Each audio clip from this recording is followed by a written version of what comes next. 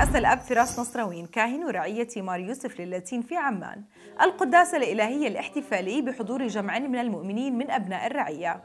وفي عدة القداس تأمل الأب نصراوين بالفصل الأول من رسالة القديس بولس الرسول إلى أهل أفسس والذي تحدث فيه عن إنارة الرب يسوع المسيح لبصائر المؤمنين.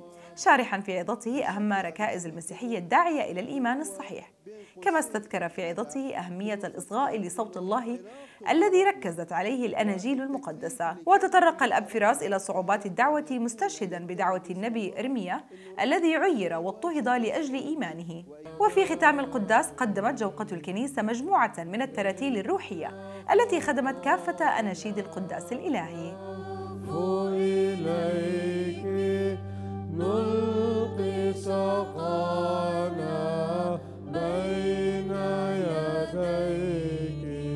كلمة الله في قلبي كنار محرقة قد حبست في عظامي فجهدني إمساكه ولم أقوى على ذلك. شوفوا ما أجمل هاي الكلمات إنه كلمة الله على الرغم من صعوبة الوضع على الرغم من المشاكل والآلام والاضطهاد اللي وقع على إرميا بسبب كلمة الله إلا إنه بشعر إنه كلمة الله في قلبه كنار متقدة فجهدني إمساكه ولم أقوى على ذلك. أي لم أقوى على أن أسكت أن أصمت وألا أتكلم بكلمة الله في حياتي.